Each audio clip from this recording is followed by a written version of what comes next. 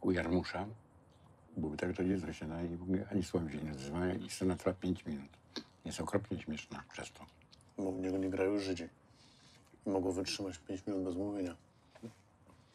Woody Allena jest... a Nie, Woody, Allen.